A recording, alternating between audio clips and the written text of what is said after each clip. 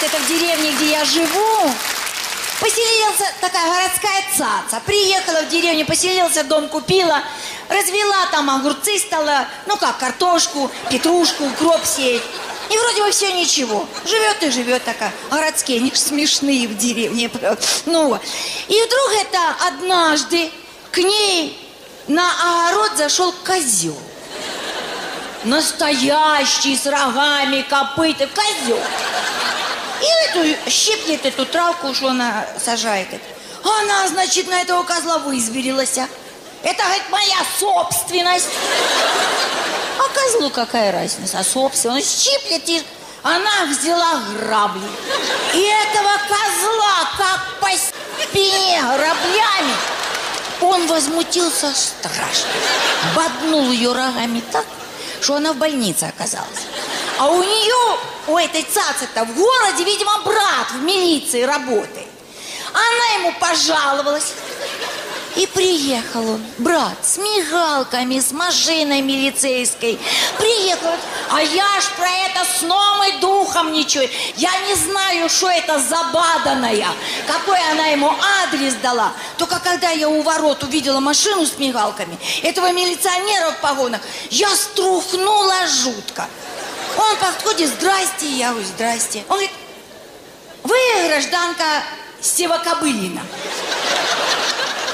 Я говорю, да. У нас говорит, пол деревни Севакобылина. Он говорит, тогда мы за вашим козлом. А я с утра с мужем поругалась.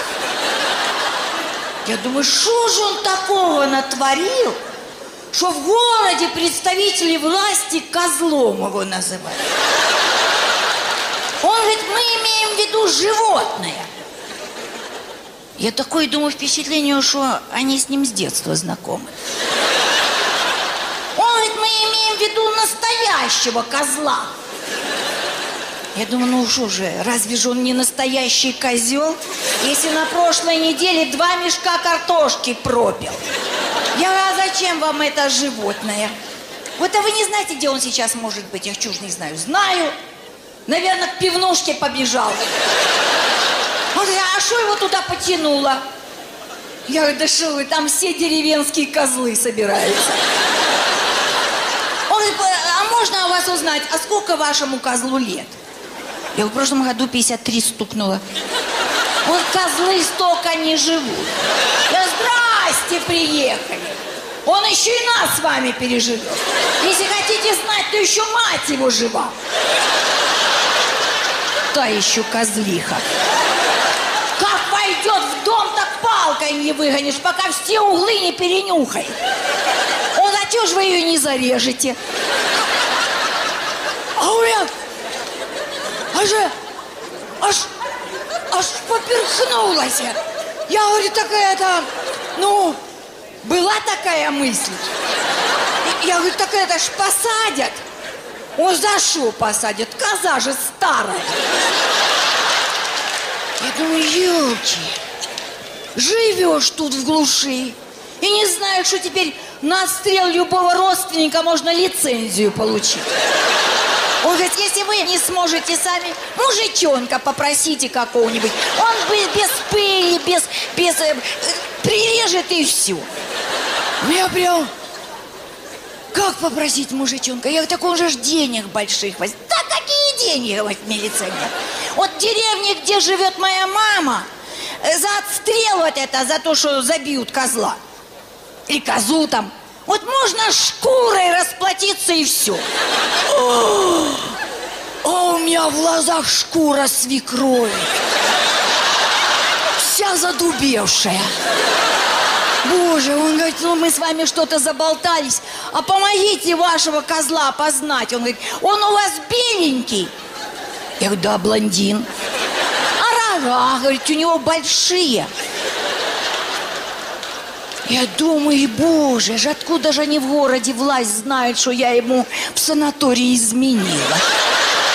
Я да, какие ж там рога? говорю, шишечки. Говорю, если он и будет и так дальше ко мне относиться, то я вас уверяю, шишечки у нее начнут ветвиться. Он говорит, а при чем, говорит, тут вы и ваши рога, и ваш козел? Я думаю, дурак. Вот я же не знаю, что измена жены резко повышает количество кальция в организме мужчин. Вот тебя борода. Про бороду я говорю, какая у него борода? Господи. Щетина недельная и, и все. Он говорит, у отца его была борода. Да его отец вообще был метра два роста. Да если хотите знать, я говорю, отец, он говорит, да ладно, таких козлов не было. Ладно, говорит. Его даже председатель боялся. Ой, председатель боялся какого-то козла. Я что значит какого-то? Этот козел, между прочим, был коммунистом. Ой, а что, других кандидатов не было? Я говорю, да он был лучший кандидат из тех в то время. Он говорит, а ну дыхните, дыхните. Я дыхнула, он так рукой махнул, говорит, что-то мы с вами тут заболтались, а идти надо. Тут вижу, Коля мой ползет, прямо ползком. Я говорю, Коля, Ой, быстрее, мы тут с гражданином-милиционером уже о тебе целый час говорил, из города за тобой приехал. Вы имеете в виду, говорю, это животное? Он посмотрел и говорит, какая же вы... Мы про настоящего козла с вами говорим. Махнул рукой и пошел. Я так обидно за Кольку стала. Я говорю, разве же он не настоящий козел? Я говорю, да он любому животному соответствовать может, если захочет, мой Коля. Ну, смотрите, ну, козел он и есть козел. Свой, родной. Пасись, Коля, пасись. А я здесь за тобой погляжу, Коля, чтоб ни одна сволочь тебя в город не увезла. Козлик ты мой, родной, дорогой козлище. Сердце у меня болит, ой.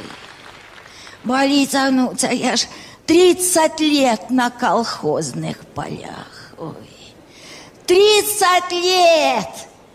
Копчик выше темечка. Я недавно к председателю зашла, он говорит, ты кто? А стала, как на поле стою, сразу узнала. Зато дочечку выучила. Она у меня в этом, а в косметическом салоне. Солярий включает. Замуж вышла за городского, Валеркой зовут. Городской, да. Он этот, как его, э, не, не, компьютерщик вот этот. Ой, программист. За пять лет не мог мне внука спрограммировать.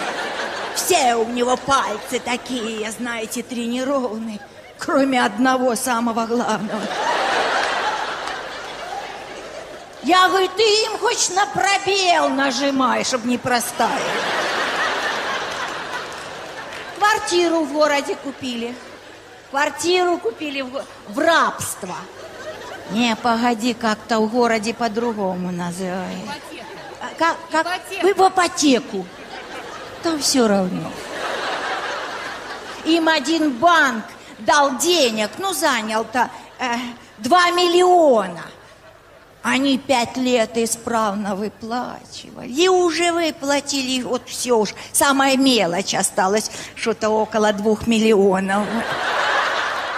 И банк лопнул, сильно лопнул. Ой, ло... так взрывной волной вот это начальство аж на Канары забросило. Значит, они ко мне в деревню поехали. Ну, приехали ж ко мне, так Наташечка ж быстро сориентировался, наш деревне вырос. А Валерка, ой, беда. Что не день, то, то что не день, то подарок. Вот эту тарелку мне привезли, которую на дом вешать. Как она, вот эта спутниковая. Тяжелючая. Ой, они ее перед тем, как на дом повесить, возле будки собачьей поставили. Ой, Шарик от счастья чуть с ума не сошел. Думал, что ему такую здоровую миску для жратвы поставят. Ну, а Валерка люстру по, по, по, полез вешать. здоровучая люстра, ой, дорогучая, ой, повесил, по, полез, повесил. Стал слазить, люстра упала. Дорогое на бесплатное. Я, я не могу сказать, что у нее руки из одного места растут. Не могу сказать, нет. Пока не растут. Только ждем сходов. Каждый день, что приходит и говорит, а что надо сделать, чтобы в колодце воду набрать? Я говорю, пойдешь, возьмешь два ведра, бросишь и все. Пошел, бросил и все. А что а, а надо сделать, чтобы, чтобы лошадь пошла? Я говорю, ты но говорил, говорил. Ну тогда сядь верхом, так пяточками ее по бокам. Приходит, меня лошадь укусила. А я что, саданул ее по почкам, а сесть забыл, ну. Пойди, говорю, на пасеку, метку свеженького поешь. Чего ж ходишь? Я с калитки выхожу, спугалась, а прям думаю, Маша Распутина в деревню приехала. Я говорю, я говорю, ты что? Он говорит, а, а там, говорит, мед шевелился, но я его все-таки укусил. Это ж меня тоже пчелы кусали, но чтоб за двенадцатиперстную кишку. А на велосипеде. А у нас же в деревне коровы дорогу переходить. А как же ж коровы ходят? Хвостик к хвостику так и идут. Ой, как потом сам говорил, попал, говорит, на сайт. Тормозов.нет. Я, ты шо? встрял в коровью лепешку. Он говорит, не в лепешку, а в саму пекарню. А дед мой, говорит, забор повалился. Валерку позови, нехай подсоби, подсоби ну, забор-то отремонтировать. Ну, дед-то держит штакетину и гвоздь. Валерке молоток говорит, давай бей по шляпке сильнее а сам дурень в шляпе сидит. Дед, конечно, не гвоздь, но по колено в землю вошел.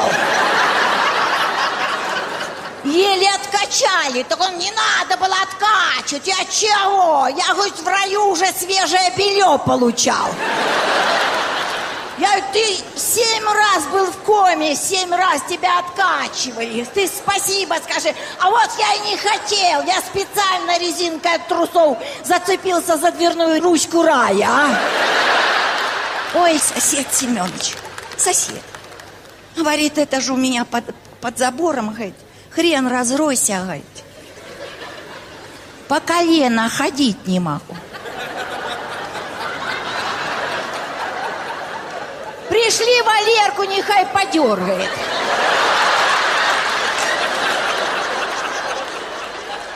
Я Валерка, а Семенович просил прийти, хрен -по подергает. Он зачем? Я говорю, да он разросся по колено, ходить не.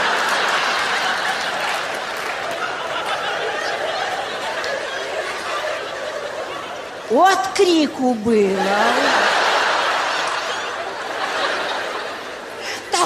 за Валеркой. Гонялся аж до заката с дрыном. Хорошо, плохо видит. А потом еще Магарыч принес. Ой, хромоты радикулита как не бывало. Главное знать, за что Ой, а тут они на рыбалку собрались, значит, это ж Валерка, Семеныч и мой дед. Ну, через магазин, а как же ж по-другому? АЗС. Алкозаправочная станция. Я ж за ними увязалась. Говорю, значит так, говорю, что, ребятки, полочка беленькая, полочка красненькая, и утро туманное стало прекрасненьким. Не наговаривай, мы по полстаканчика. Для ухи, ухи. Я так по полстаканчика же не продают полстаканчика. Взяли целую. Семь штук. Валерка говорит, так а, а чего, говорит, а давайте на все возьмем. Закуску там наловим. Ну, черви сразу поняли, что у них выходной день. Валерка еще, а что мы пиво не возьмем на дорогу? Взяли.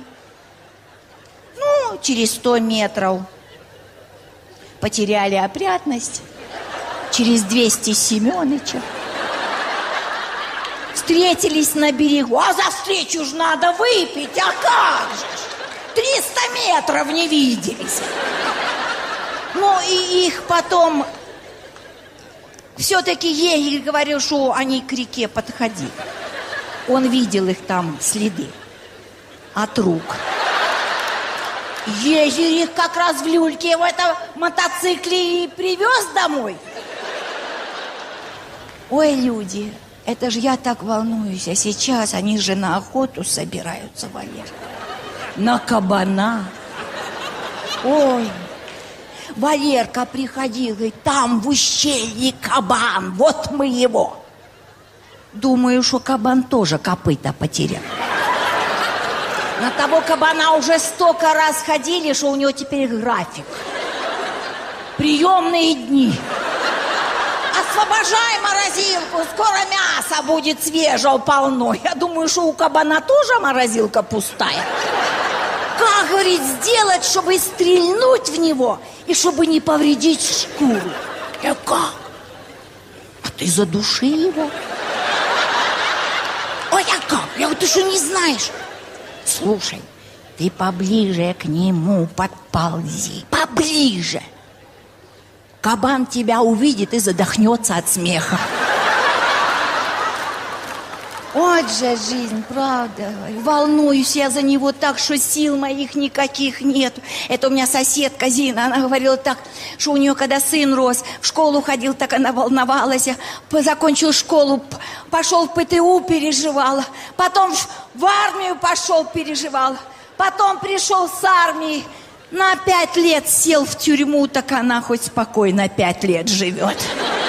Валерку не за что, не за что, парень хороший. Но волнуюсь я, люди, за него. Ой, как волнуюсь. Немало баба хлопоту купила порося. Вот так я вам скажу. Добрый вечер, очаровательные. Здравствуйте. Здравствуйте, здравствуйте. Кого я вижу? Здравствуйте. Здравствуйте. Ах, как многих я знаю. Здравствуйте. А для тех, кто меня не знает, хочу представиться. Меня зовут Элеонора Петровна. Я пластический хирург. Поэтому многих здесь знаю.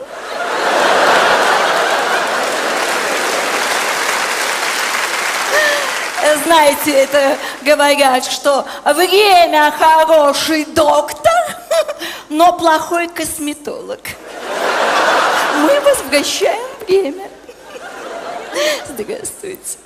Недавно, знаете, ко мне пришла одна пациентка, ну, назовем ее условно Б. По-другому просто язык не поворачивается. Но мы же врачи, мы должны соблюдать врачебную. Я могла бы полностью назвать, ну, понимаете, просто Б. Она меня замучила своими вопросами. Доктор, скажите, можно подтяжку на лице сделать спереди и слева? Я говорю, солнце мое, можно спереди и слева, тогда рот будет сзади и справа. Скажите, а можно щеки оставить старые? Солнце мое, можно щеки оставить старые, но нужны наклеить обои. И обоев надо много. Потому что, солнце мое, у тебя, как бы это сказать, синдром хомячка. Щеки обвисли аж до подмышек. Мы ей сделали, подтянули, натянули очарование. Она вышла в коридор, ее не узнал собственный муж. Стал к ней клеиться.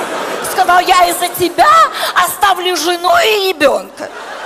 Слушайте, она с ним поговорила. Серьезно. И он теперь не курит, не пьет, ни бабам не ходит, просто спокойно лежит себе у нас в реанимации. Мы ему лицо восстанавливаем буквально на пустыре. Недавно, знаете, у нас же зубы теперь можно делать, и зубы можно делать с любым запахом, чтобы, ну как же, и фиалка, и лаванда, и ленор, доместос, пожалуйста, любой. Одна пациентка, условно назовем ее П, по-другому язык просто не поворачивается. Она сделала себе зубы с запахом коньяка. Мужчины у нее на губах просто виснут. Ну, конечно, бывает осложнение, вы понимаете, они в основном связаны с реакцией организма на наши цены. Недавно пациентка, когда узнала, во что ей обошли зубы, у нее тут же исчезли брови. Они поползли на лоб, потом на затылок, потом за лопатки, и тут где-то бродят сейчас по организму. Она приходила, жаловалась, что когда она садится, ей очень трудно хмурить брови, понимаете? Очень не, не погостая ситуацию. Ой, я на вас смотрю, я просто потеряю глаза потрясающие. Глаза у вас очаровательные. Как вас зовут, простите? Очаровательные. Глаза прелестные. А, ну мы это исправим. Солнце мое. Ты на этих ногах ходишь? Боже мой, как тебя зовут, солнце? Как тебя зовут, скажи, пожалуйста. Ира, встань. Пожалуйста, встань, походи. Это же не ноги, это достояние стороны. Тебя на таких ногах должны носить на руках. Послушай, недавно к нам одна приходила пациентка. Когда она вошла в кабинет, я таких ног не видел, это не ноги, а дуги какие-то. Она плакала, страдала. Доктор, у меня никогда не было мужчин. Я говорю, солнце мое, какие мужчины? Они же проскакивают между ногами. Прямо на Мерседесе, понимаете? Мы ей сделали ноги, прелись, и она на них теперь носится со скоростью два мужа в год. Девочки, надо собой заняться. Кое-что потянули, кое-что сделали. Что вы, мужчины любят красоту. Знаете, это анекдот старый, может быть, вы его знаете, когда в дом пришел, пришел на, э, настройщик рояля, стал переставать к жене, муж орет, я же позвал настройщика рояля, а вы пристаете к моей жене. Он говорит, боже мой, я решу, что она тоже расстроена. Так что, девочки, чтобы не были расстроены, приходите, мы все сделаем. Вы знаете, как говорит, на, на, что Бог вначале создал мужчину, а потом женщину. Знаете почему? Потому что вначале создают набросок, а потом шедевр. Так что мы... Мы, как Господь Бог, лепим красоту из материала заказчика. И сдаем тело прямо под ключ. Приходите, приходите к нам, очаровательные красавицы. Зеркало у нас прямо внизу. У входа. Хорошо? Хорошо. А после нашей клиники выходит красавица, очаровательная. Знаете, когда муж стоит на балконе и кричит, Дуся, я сейчас выброшу с десятого этажа. Она говорит, дурак, я же тебе рога подарила, а не крылья. Мы дарим крылья. Приходите. А, так ты будешь меня допрашивать. А, чего мне допрашивать, я сама все расскажу. Главное, ты записывай. Я что помню, то сама и расскажу. Только не перебивай, хорошо? Значит, это дело было так. Утром пошла я за пенсию хлопотать. Иду, соль в суставах гоняю, и вдруг у голове такой шум сделался, в глазах потемнело, как-то давление скакнуло. Села я на скамеечку, думаю, таблетку сейчас выпью. в карман таблетки дома оставила. Ой, беда. А рядом парнишка сел, одетый модно. Точно помню, что модно, потому как я перекрестилась. И так на меня зырь, весь у кольцах, весь.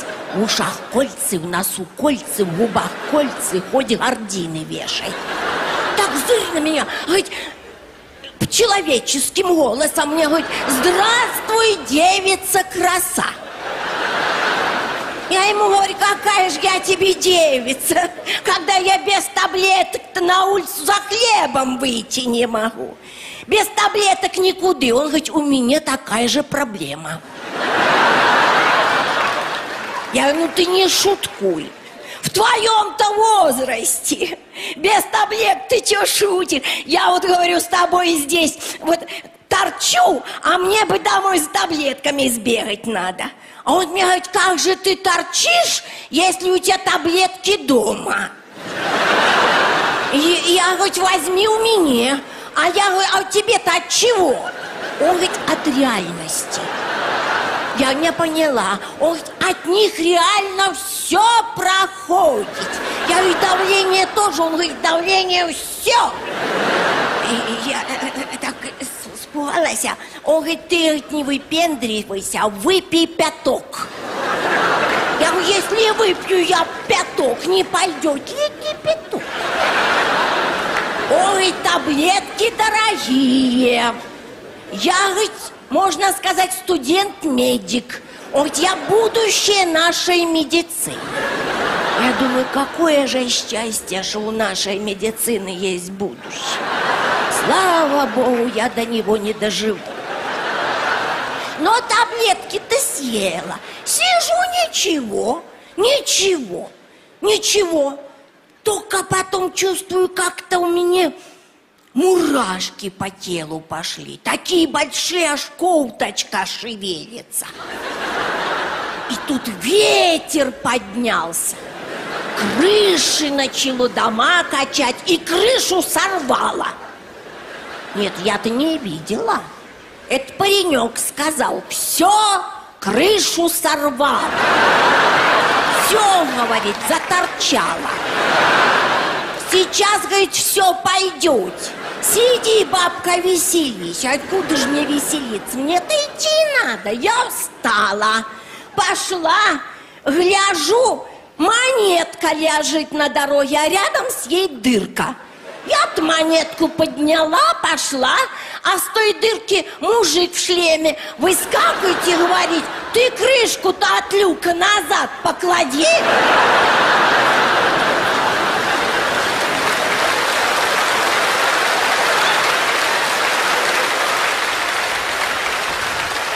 А я и говорю, не такая у меня пенсия, чтоб назад деньги класть. Монету такого достоинства. Пошла дальше, гляжу, еще одна монетка лежит. Думаю, кого-то карман-то порвался. Подняла, дошла до угла, штук пять собрала. И иду под мышкой монетки-то держу. Только как-то странно, как шаг сделаю, так в асфальте дырка. Я гляжу, сядет человек такой слепой, без ног деньги просить. Думаю, дай-ка я брошу яму. У меня какая-никакая пенсия. А он-то просить, значит, надо. Бросила я ему. Видно, зацепила его, он аж прозрел тут же. И побежал через дорогу. Это ж надо, человек-то вылечила, выходит. Ну, пошла-то я через дорогу тоже перешла, а вот там пятиэтажка дом. Пишешь? Пиши. Вот ты глядишь на меня. Пятиэтажка. А у меня на пятом этаже подруга-то живет. Думаю, дай-то я ее на улицу позову погулять. А идти-то на пятый этаж тяжело, без лифту. Думаю, дай-ка камушек брошу в окошко. Я ж не знала, что я тем кирпичом весь пятый этаж снесу. Стою, нервничаю. Об машину облокотилась. И она как закричить, а у меня ж нервы-то никуда. И схватила я цепь с парковочного-то столбика. Как дала! Вот гадость немецкая! Как она заорет! Тут выскочили три красавца одинаковых с лица. Сразу один до меня подходит и говорит, наш капот сейчас плавно перетечет в твой капут. А другой говорит, ожидается такое повышение пенсии, жалко, бабуська, без тебе. А тут откуда не возьмись, мотоциклист сумку у меня из руки вырвал ад, и помчался. Ой, думаю, что ж за дело-то такое? Я ж, куда ж меня ножки больные? На силу через пять километров-то догнала я его. Стоите, он сумку мнет. Я говорю, тебе что, девочка, за тобой бегать? У меня он давление, у меня сердце колотится, у меня нервы никуда. Сумку-то я ее выхватила, ну и поехала на мотоцикле. Ну, поехал-то сказать, конечно, сильно так поплялась по-стариковски. Как о скорости? Не знаю. Скорость откуда знаю? Ну, когда я мимо милиционер-то проезжала, с него ветром форму и сорвало-то. Как откуда знаю? Так я ж через минуту назад, когда возвращался, он меня сдалека заприметил, свою палку милицейскую бросил, за трусы схватился. Ой, матерился, матерился, ой, как откуда слышал, вот ты даешь. Ну как же мотор, какой мотор? Я ж мотор-то не заводила, я ж ногами. А затормозила опять розу в парке. А уже темнеть-то стало, гляжу, маньяк сексуальный. Конь, как это, откуда знаю? В панталонах, чтоб быстрее срывать было. И главное дело, я как заору, насиловают, насиловают. И за им кусты. А зачем же он обещал-то? Побежала, он спугал. Насилования было, не было, я не. Мне уже 80 с гаком, мне сравнивать-то не с чем. Ну, испугался и через дорогу в клуб побежал. А в клубе том, я ж за им, в клубе том, ой, дым коромысла, музыка так же громко кричит. Ой. Ну, я за шест этот, как это, палку покрутилась. Мне столько пенсий без росписи никогда не давали.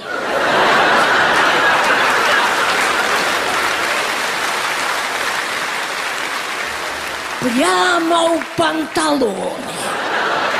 Ой, а я, значит, то дело стою, что-то руки-то затекли, гляжу, а я руками-то за шесть держусь, а ногами на потолке.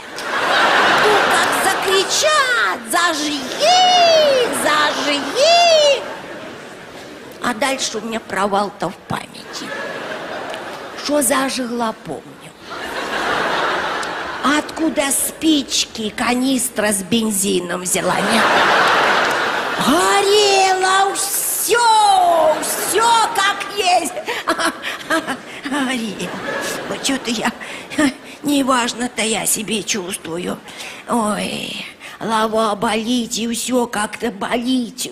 Уми, уми. Да ты не волнуйся, я когда у тебя в обезьяннике-то сидела, мне парнишка один-две таблетки дал.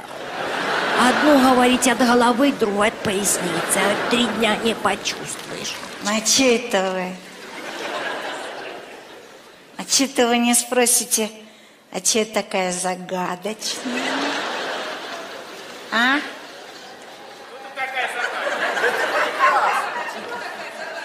А я не скажу.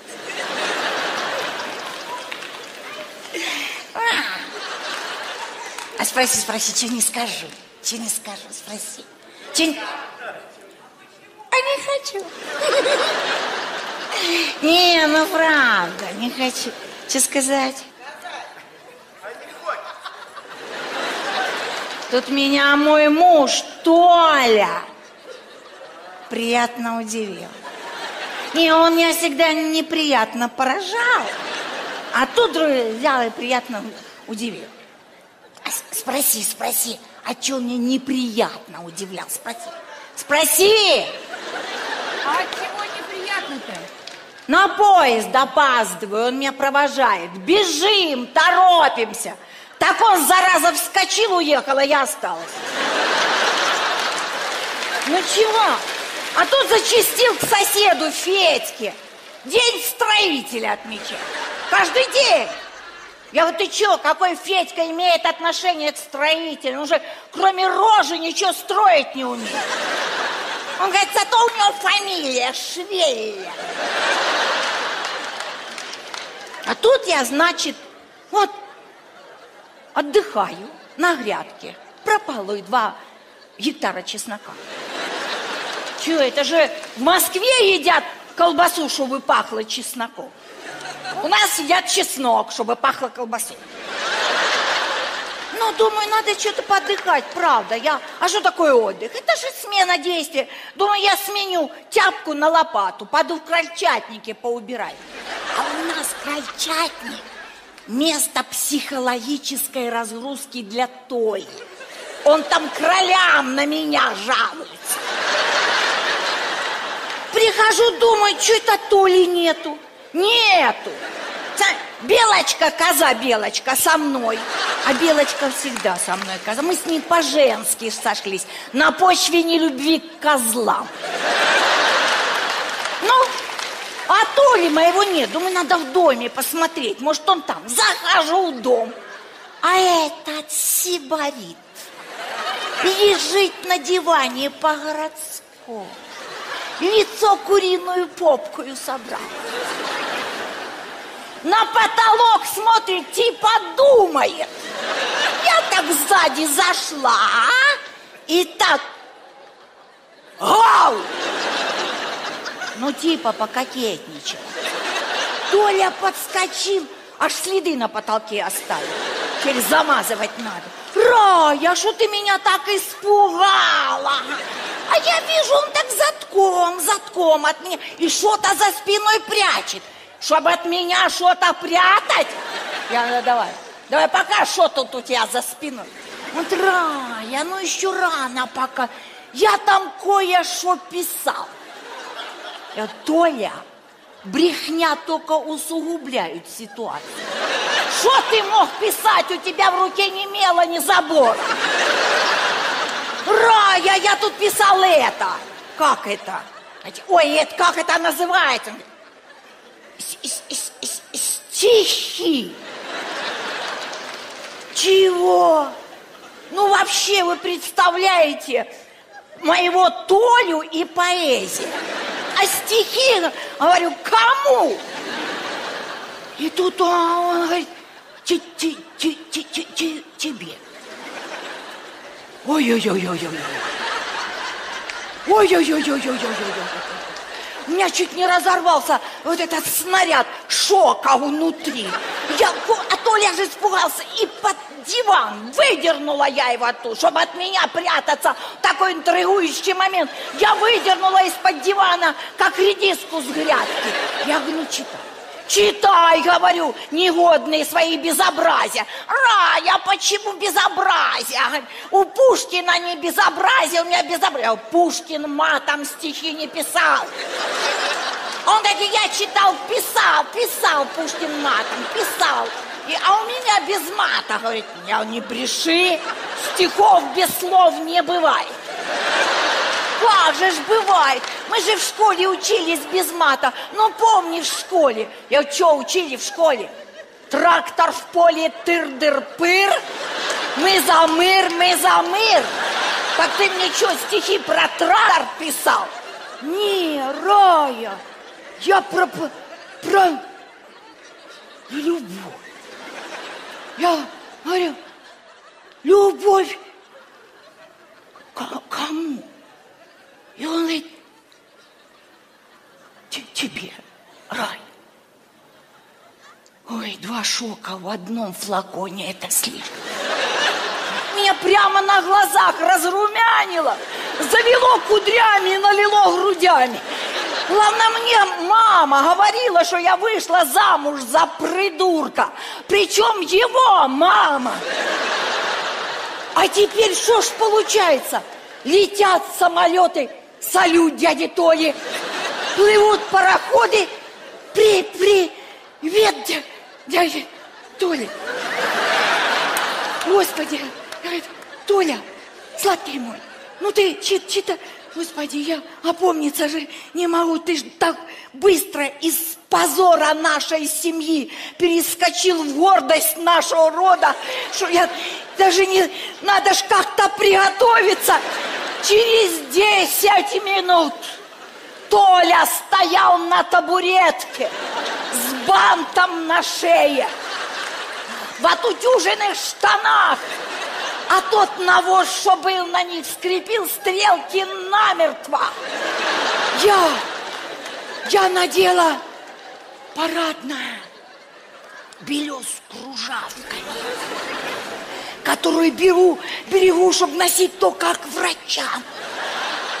А козе Белочке, как она того и хотела, я надрала начес на всю спину. Я, ну, Толя, не, погоди, погоди, Толя, погоди. Надо же ж соседей позвать. Они ж должны видеть мой триумф.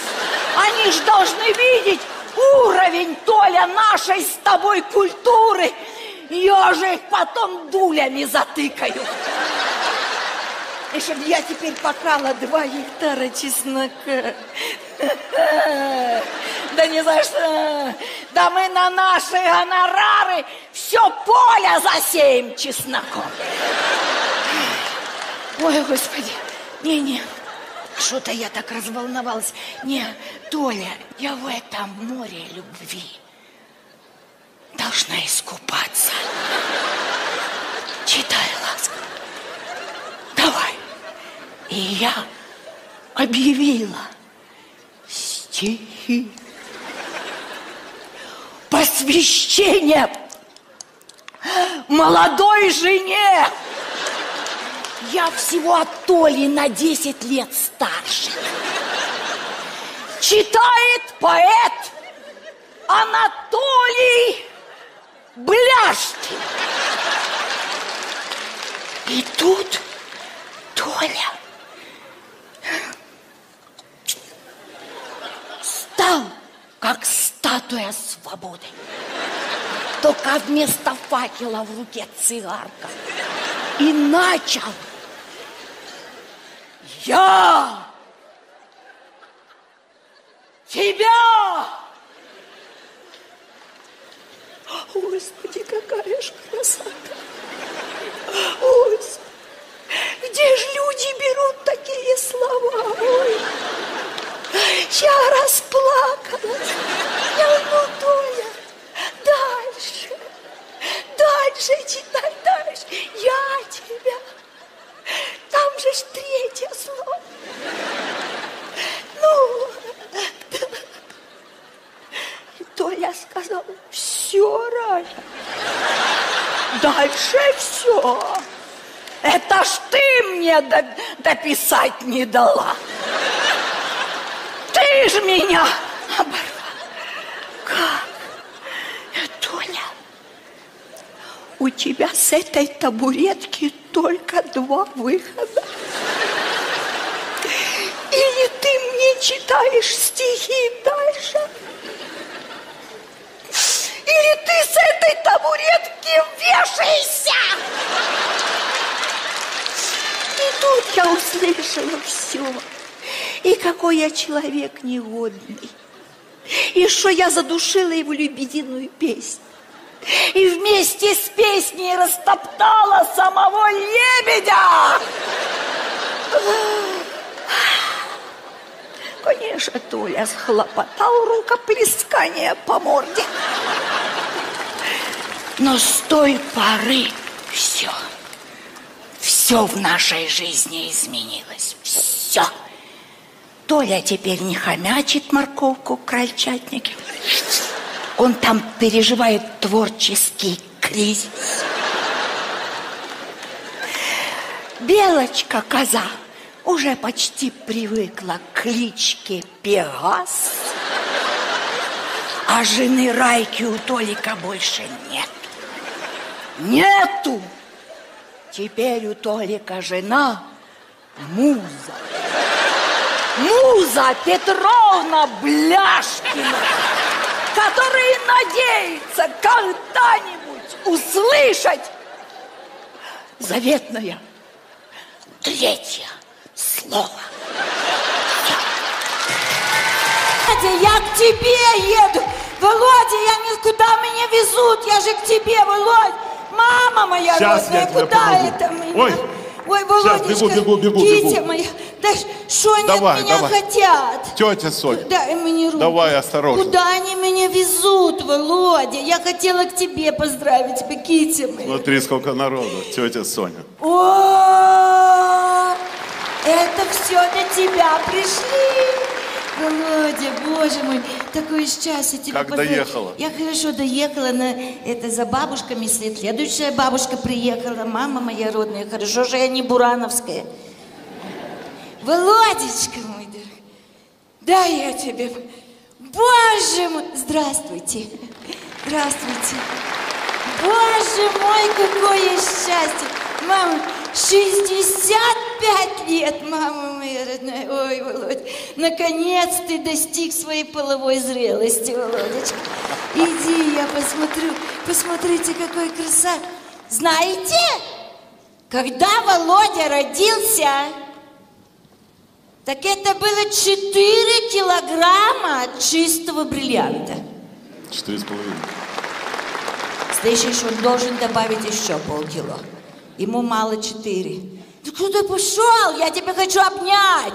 Иди, я те, иди, мое солнце, я тебя обниму. Иди, моя китти, моя. О, я вам скажу. Тут есть что обнять. Тут есть что обнять, Володя, одним, боже мой. Знаете, я тебе скажу, эта девочка может быть как вешалка. Мужчина должен быть шкаф. Не, лучше сейф с деньгами. Правильно говорю? Когда мужчина сейф с деньгами, то совершенно не важно, какой у него ключик.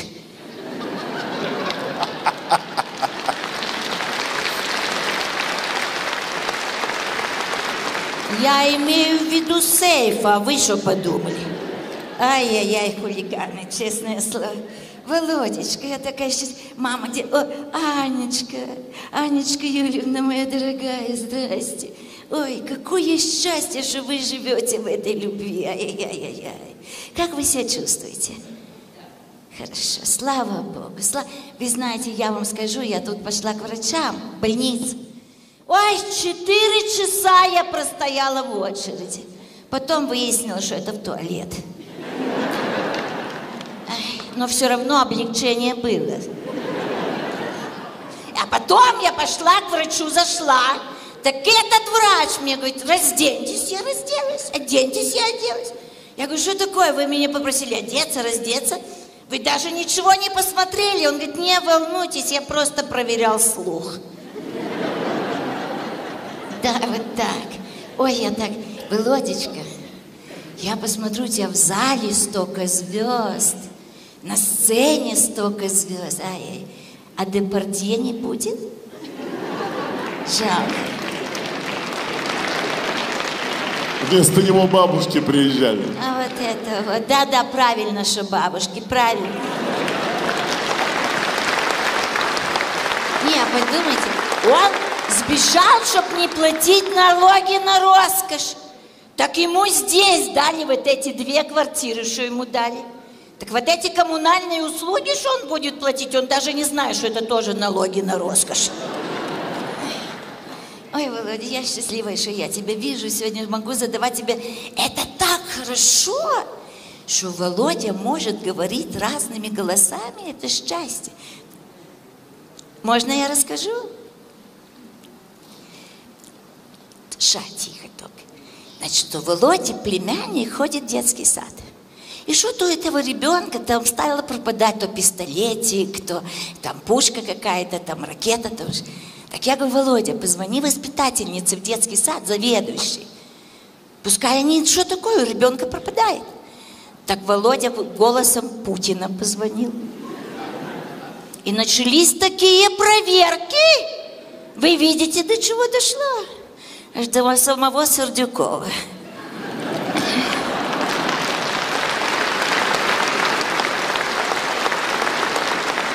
Э, Вы знаете, что я вам скажу? Э, Про Володю же все все знают. Про него же все все знают. Вот Столько анекдотов про Вовочку. Э, Мне даже кажется, что нашего президента тоже в честь тебя назвали Вовочкой. Про него тоже есть анекдоты, знаешь? Это я тебе не рассказывала? Говорят, что этот американский, как этот, как, как этот американский президент, как его зовут? Барак.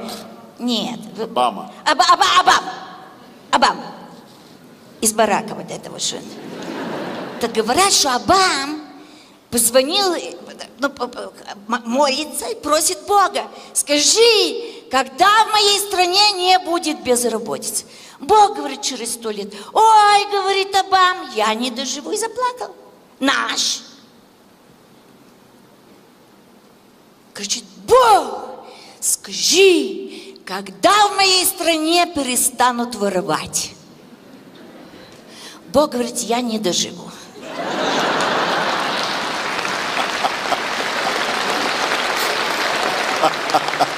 Браво. Ой, я так хочу, чтобы все было хорошо. Ой, мамочка, мамочка, это ты сидишь, Тамара, китя. Володина жена, Тамарочка, красавица, царица. Это золотая рыбка. Что, я не права? Посмотри. А, красавица. Знаешь, что я тебе скажу? Мне кажется, что ты единственная золотая рыбка, который, который не исполняет желания, а загадывает. И они исполняются. Знаешь почему? Потому что у тебя дома есть золотой рыбец. Ой, какая у вас семья замечательная. Я так счастлива, что могу... Знаешь, Володечка, если бы ты только знал, сколько жен недолюбили своих мужей, и сколько мужей недолюбили своих жен, знаешь почему? Потому что они любят тебя. А если бы ты знал, сколько пересоленных обедов скушали, и сколько не развелось семей, знаешь почему? Потому что в это время ты был по телевизору. Я хочу, чтобы вы были счастливы дома, чтобы ты, Тамарочка, мама, чтобы Настенька, чтобы дом был полон счастья. Знаете, как важно в доме слышать друг друга. Это есть такой анекдот, можно я расскажу, я сейчас уйду. Да, да. Э, Меня не, вез- не везут, я на своих должна уйти. На своих ногах. Слава Богу. Не-не, не надо мне вот это, я еще могу дойти, слава Богу. Так слышите, это сейчас уже люди богатые. И уже могут строить большие дома. И уже так му- муж живет на одном этаже, там спальня, жена на другом этаже спальня. Хорошо все. И так я прихожу, и я говорю ему, как если ты хочешь, чтобы она тебя ласкала, чтобы у вас была ночь любви романтическая, там, знаю, что ты делаешь, как ты на втором этаже, она на первом, как это... Он говорит, я свищу, и она приходит. Я иду к ней и говорю, слушай, Китя моя дорогая, но он на втором этаже, но вы же бываете близкие, у вас же бывают какие-то отношения, ну как-то что-то должно быть, что ты делаешь он там? Она кричит, Вова, ты свистел? Вова, я хочу, чтобы вы слышали друг друга. Чтобы вы с Тамарочкой слышали друг друга, чтобы вы любили друг друга. Я хочу, чтобы вы были счастливы. В вашей семье долго-долго-долго-долго. Это запомни. Запомни, что я тебя прошу. И запомни, что у тебя есть... То есть ты хочешь сказать, чтобы я уже ушла, нет? Я ты, сви- ты свистишь по-хорошему. Я по-хорошему свищу. Я пойду, я пойду. Я буду счастлива, если в следующий раз Володе там пять лет пройдет, и мы опять все соберемся. Хорошо? Володя, запомни, это я тебе сказала. Твоя тетя Соня. Марина, ну заходи. Плачу я. Плачу, ты не видишь, что ли? Плачу. Прости, что я тебя вызвонила, прости, что я тебя позвала. Знаешь, я плачу, плачу уже вторую неделю. А в одиночестве плакать скучно. Бросил меня, понимаешь, Валерка бросил меня. Марина, не знаю, что делал, бросил. Забрал Феррари, забрал драгоценности, бросил. Ушел, выгнал. Марина, не знаю, что делать, понимаешь? Да не волнуйся, денег оставил. На трамвай. Волнуется. А он мне говорит, ну и что, что у тебя 90, 60, 90? У тебя после мозга прочерк. Марина, я не понимаю, хорошо это или плохо, понимаешь? Он говорит, ты столько времени сжила однопроцентное все, что у тебя мозг работает на один процент. Марина, я прям не знаю, что мне делать. У меня могла состояться карьера, Марина, мочти! Я, Марина, я сдала вступительные экзамены, эти впускные, в ПТУ. Марина, я не знаю, да он, не, он мне не изменял. Спал он со всеми. Но чтобы изменять, Марина, никогда. Да если он спит со всеми, пускай спит. Черт с ним. Для меня это не измена. А вот когда он из штанов достает кошелек и всем бабам своим делает подарки, вот это Марина. Да потому что, потому что у нее в штанах всегда меньше, чем в кошельке. Марина, я не знаю, что мне делать, понимаешь? Я не знаю. Марин, я, я, конечно, я решилась на самое страшное. На самое страшное, Марина, я решила. Я пошла работать. Знаешь, я ему говорила, я ему говорила, я же с тобой 10 лет. Я 10 лет с тобой прожила, как матрешка на фабрике игрушек. Как, как? Не расписанная, понимаешь? А через неделю они расписываются. Вот он с этой своей девкой молоденькой расписывается. Я говорю, я с тобой 10 лет прожила. Он говорит, а ты что, не понимаешь, что у каждой женщины есть срок годности? Я говорю, в каком смысле? Он говорит, возьми паспорт, посмотри дату рождения. Я говорю, ну посмотрела. Прибавь к нему 30 лет. Я говорю, ну прибавила. Все, твой срок годности истек. Марин, я пришла. Как это я ничего не умею делать? Как это я ничего не... Ты что, сдурела, Марин? Как я деньги умею считать? Я тратить их умею. Я даже пришла к нам в ЖЭК. Я говорю этому начальнику, возьмите меня на работу. Он говорит, что ты умеешь делать? Деньги умею тратить. Он говорит, значит, ты метишь на мое место? Марин, ты знаешь, куда я устроилась? В ресторан русской кухни. Хозяйку звали Ванесса. Марин, поверь, не Ванесса, а какое-то ванесское чудовище. Я видела людей с двумя подбородками, ну с тремя. У нее потемкинская лестница из подбородка. Она говорила так, что я понять ничего не могла. Поди посмотри, как себя ведет мой гуляш. Откуда я знала, что она про, про жратву говорит? Я думала про мужа. Пришла, говорю, он официант, как щупает. Марин, правда. Она мне говорит, будешь делать только то, что тебе говорят. Возьми кастрюлю, поставь на газ и включи. Я пойду покурю. Я сделала, как она сказала. Взяла кастрюлю, поставила ключ. Она не говорила, зажги. Она сказала, включи. Я все сделала, как она сказала. Она входит с сигаретой. Представляешь? Ну что, в радиусе 30 метров суп попробовали все.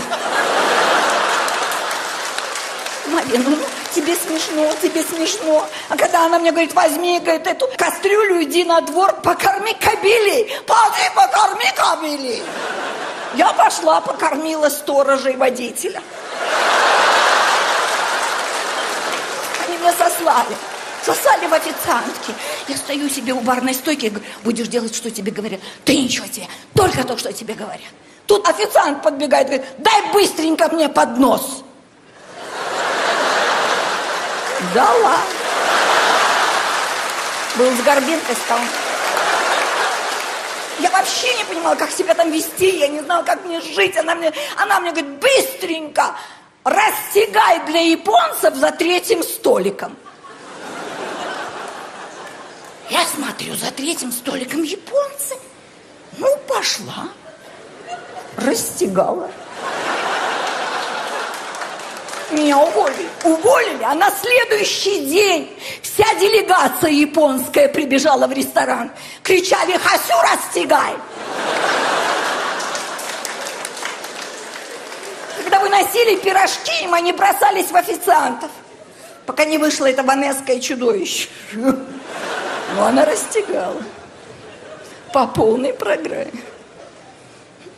У японцев такие глаза. Они две недели в аэропорту маялись. А их не выпускала. Границы не выпускала. У них глаза никак не могли вернуться в паспортные данные. Потом я в больницу устроилась. Врачом. Диплом купила. Как что скажут в больнице? Ну, Марин, ты даешь. Так я у них и купила. Ой, они мне выдали такую халатик такой беленький, шляпку такую, ну, стильненькую, эту штучку, которую все врачи носят, как это, вот такую. Я всегда, я с детства помню у врачей это. Как оно? Они так и сказали, будете слушать больных. Я всем больным сразу сказала, будете говорить в эту штуку.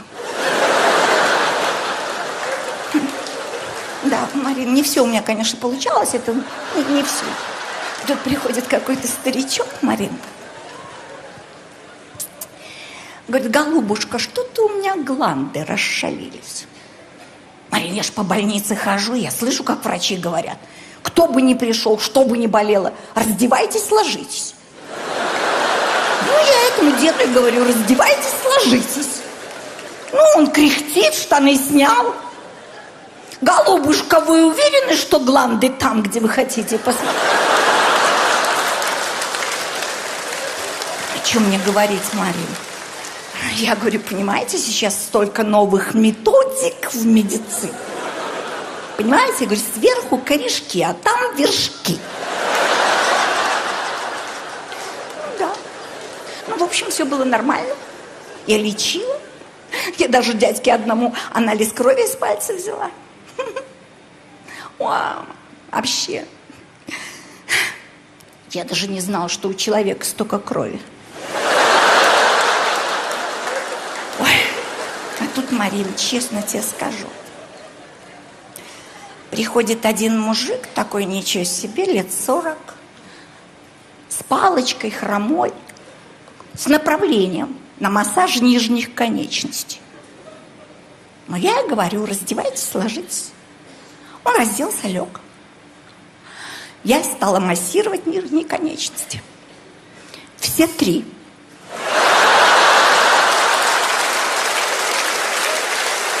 А за что меня уволили, я не поняла. Ведь помогло же, понимаешь? Человек 10 лет с палкой ходил, а тут из окна выбрыкнул за цветами на клумбу, понимаешь? А то, что на следующий день развалили вот этот коридор в больнице, так не я виновата. 200 мужиков пришли с направлением на массаж нижней конечности.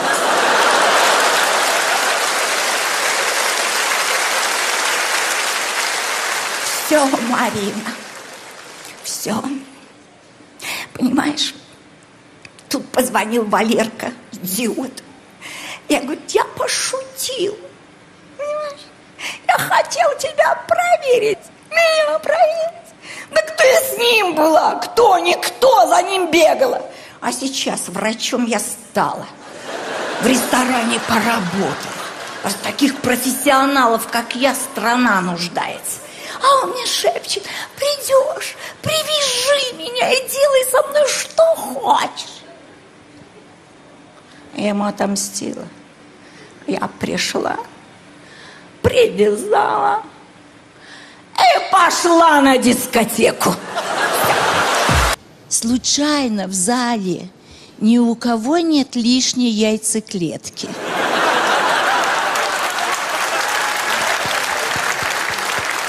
Я завидую, понимаете? Я думаю, что в моем инкубаторе их полно. Но я думаю, что они сильно просрочены. Я пойду туда. Э, э, да, пожалуйста, я, пожалуйста. Я тебе хочу сказать, Яночка, между прочим, понимаете что? Э, я уже столько здесь сидела и пыталась что-то пить, и пыталась что-то... Ну, э, э, мне долго пришлось ждать, у меня же немножко уже...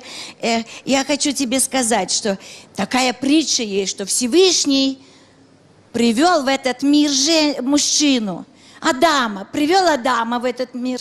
И Адам ходил и грустил, и не знал, что ему делать. И Всевышний посмотрел, что он грустит, и говорит, ладно, приведу тебе женщину. С тех пор существует вот эта пословица «Не приведи Господи». Ну, э, Я это не про тебя, Танюшка, я пойду туда. А что ты смеешься? А Подожди, я вижу. А я и хочу, подожди, я тоже им скажу, потому что у Дементьевой же тоже юбилей. Немножко больше, чем меня, и у Жени юбилей.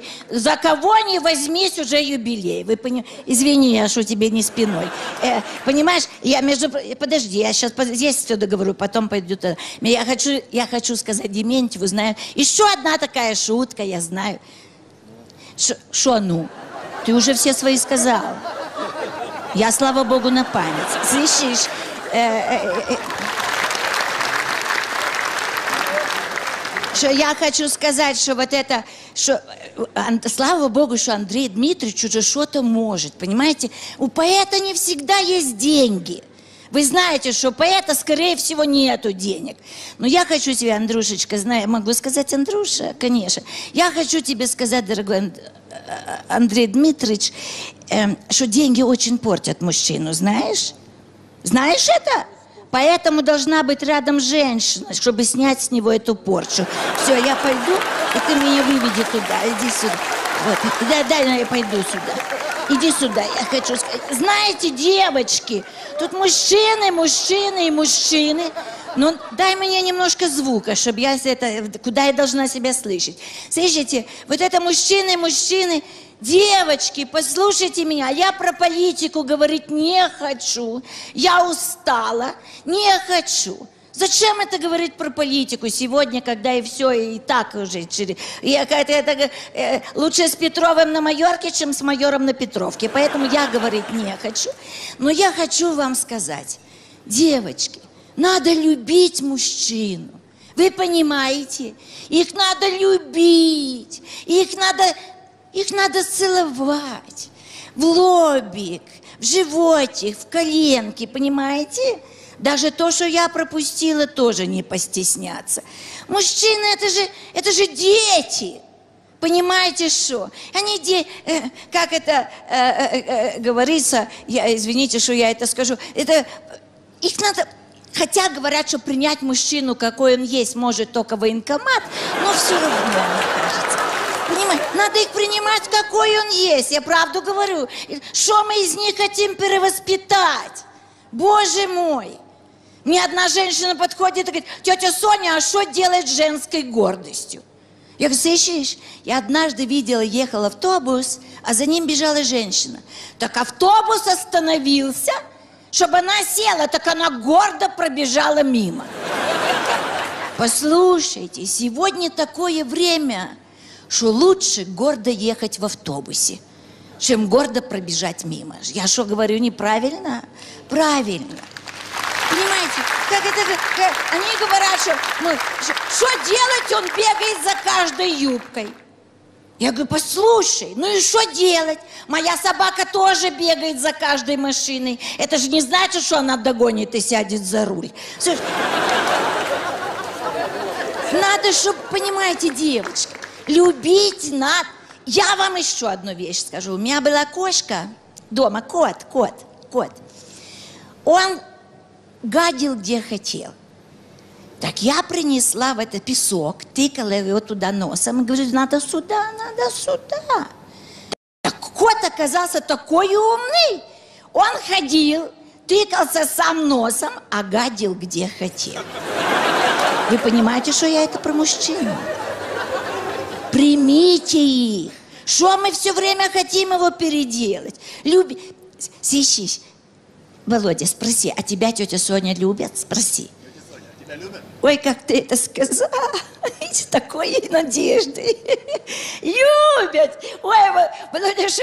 Ой, за мной сейчас ухаживает один.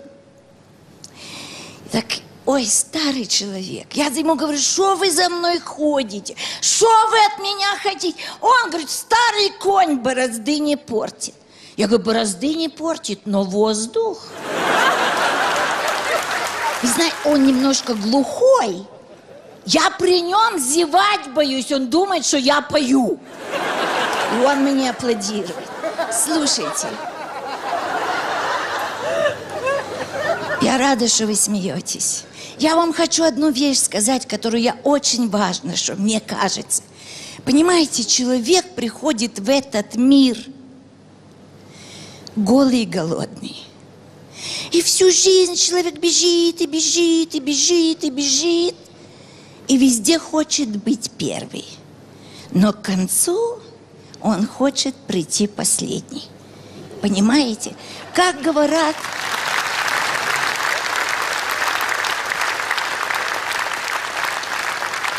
как это говорят, что нас всех хранит Господь, только сроки хранения разные. Понимаете? Поэтому я хочу вас спросить, между вот этим началом и вот это, это никуда не денешься. Куда так бывает начало и конец? Любите друг друга, радуйтесь друг другу, смейтесь, не держите вот этого зла, не держи, отмечайте дни рождения каждого. Вы знаете, может быть, я что-то скажу, и вам сейчас это покажется странным, но я хочу рассказать одну притчу. Я очень люблю рассказывать. Это было лето, и это был берег речки, и это была тишина, потому что было утро. И стояли на берегу батюшка, мула и равин. И так было хорошо. И ни одного человека на берегу. И батюшка говорит, братья мои, давайте прыгнем в воду и будем плавать. Как? Мы же не готовы, мы не одеты. Давайте, как в детстве, никого нету. И сняли из себя все, и побежали, прыгнули в речку, и плавали, купались, и брызгали. И не было это значения, что это мула, и что это батюшка, равин. Им уже выходить из речки – они смотрят на берегу, вся паства стоит и смотрит. Что делать? Батюшка прикрылся, побежал в кусты, оделся. Мула закрылся, побежал в кусты, оделся. Равин не знал, что делать, топтался, топтался, закрыл лицо руками, тоже побежал. И когда они уже оделись, батюшка говорит, Рави, скажи, пожалуйста, почему мы закрыли свои места срамные, почему ты закрыл лицо руками. И Равин говорит, послушайте, мне так кажется, что моя паства узнает меня в лицо.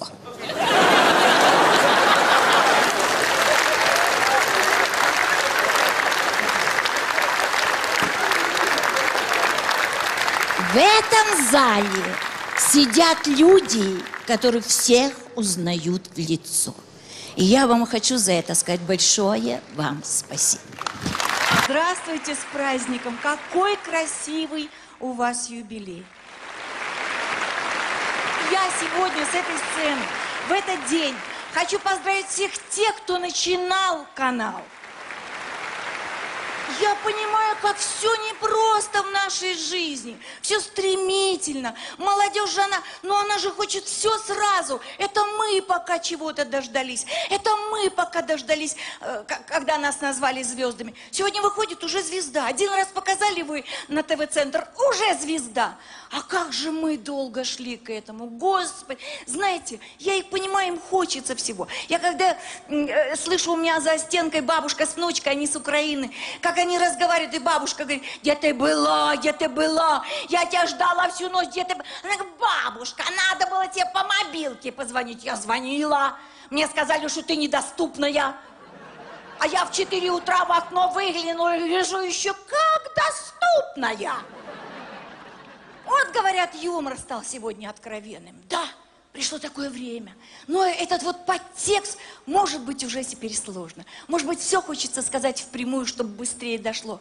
Но когда я приезжаю в свой Киев – вот только что я по телевизору видела сюжеты, когда там в Думе принимали закон о языке, и все, что происходило на экране, господи, я ж приезжаю смотреть, я ж половину не понимаю, что в моем Киеве говорят, и такой украинский язык. Если вы знали, как по-украински сегодня будет лифт. Кто из Украины? Я такие. Знаете, как лифт по-украински сегодня? Міжповерховий дротохід.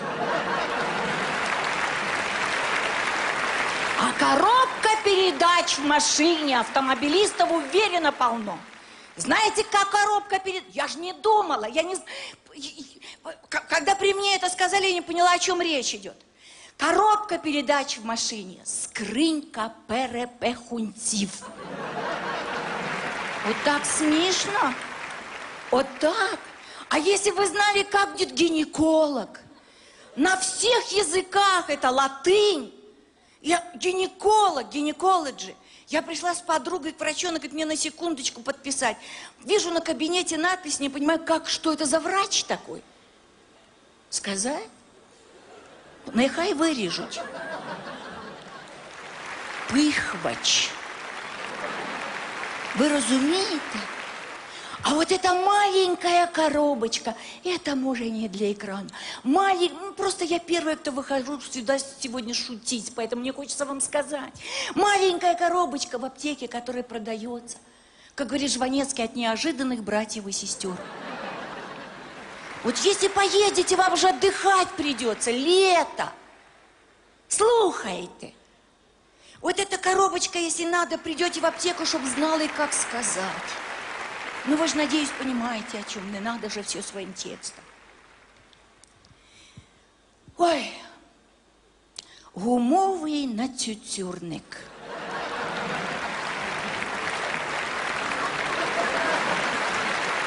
Вот так. А девушка говорит, повторите, я запишу. Слухайте, но как только я пришла в дом к своим родителям в Киеве, и как только я вошла, и все то, что мы раньше выбрасывали, сдавали в комиссионки, такое тепло, такая радость, такое удовольствие увидеть вот эти диваны, послушайте, помните, черный диван э, кожаный, со спинками высокими, с валиками. Боже мой, на этом диване еще бабушка с дедушкой еще, ну, будем, познакомились поближе, ну, Мама с папой, мы с братом появились на этом диване. У него какое-то удивительное свойство этих наших старых вещей. Вот у этого дивана ложишься уставший, просыпаешься беременный. Понимаете? Вот хочется в нашей жизни, мне, мне так хочется, не сбрасывайте ничего того, что было со счета. Мы поем наши старые песни. Мы ну, шутим нашими старыми шутками. И когда на экране появляются артисты, те наши, такое удовольствие смотреть. Показывайте чаще. Это культура. И хочется мне пожелать вам, дорогой ТВ-центр, я хочу, чтобы эту кнопку, которую включили, войдя в дом, никогда не захотелось переключать. От всего сердца вам с праздником! Петровна пришла ко мне, говорит, ой, мы с тобой газет сколько не считаем. А ты гляди, вот эти газеты, что бесплатно у ящик почтовый кладут, так я бесплатно и выкидываю.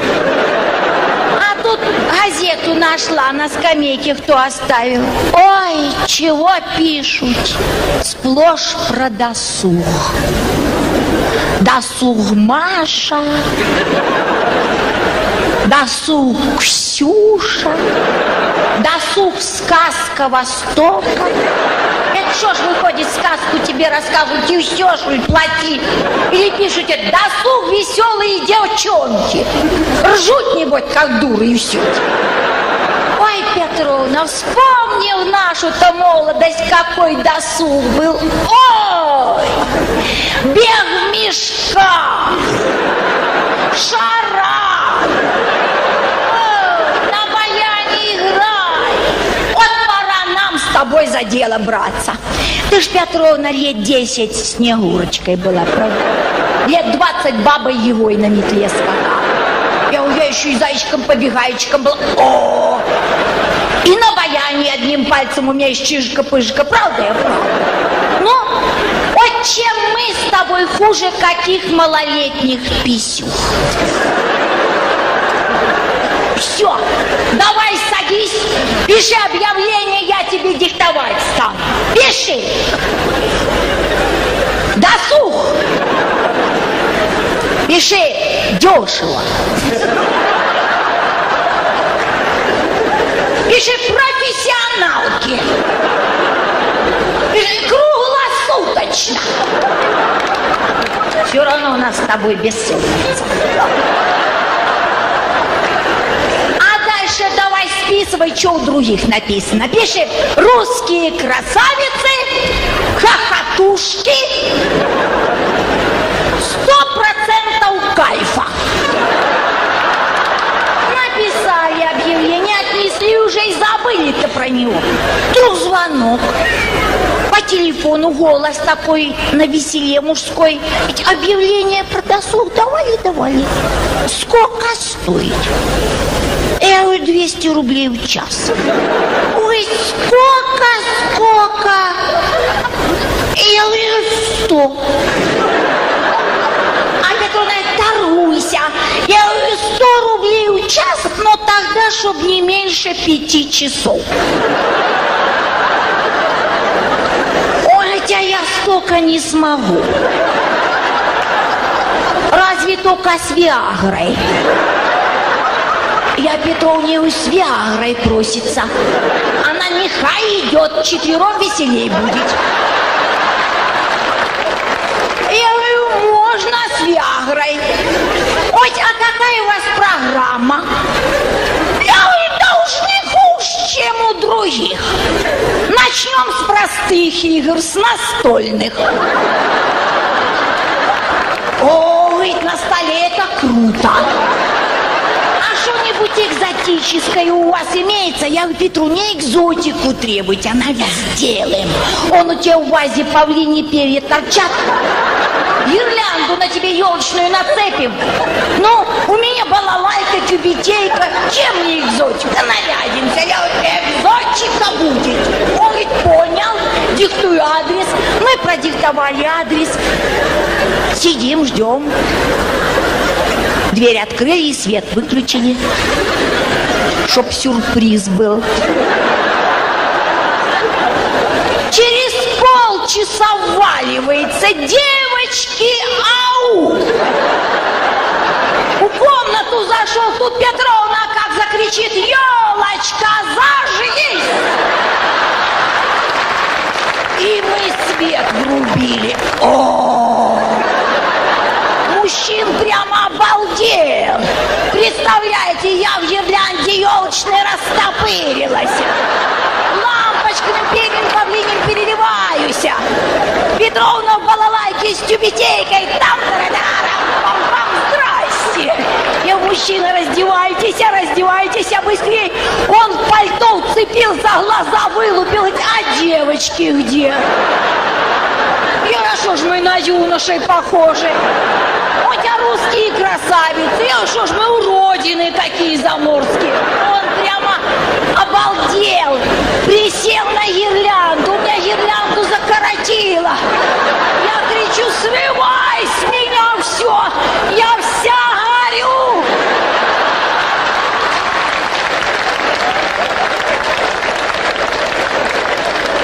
Петровна ржет, как сумасшедшая. Ой, а мужчина, что он под шумок-то уполз? Потом, когда Петровна, когда в больницу ко мне приходила, говорил, чтобы мы таким поганым мужикам, которые женщину даже обесточить не могут, культурный досуг организовывать. Да ни за что. Лучше пойдем к Абдуле на рынок из осетинского сыра дорогой импортный делать. Как, как? Пальцем дырки в нем ковырять.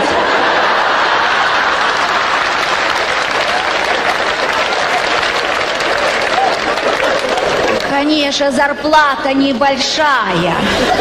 И к вечеру пальцы скрюченные. Зато работа спокойная.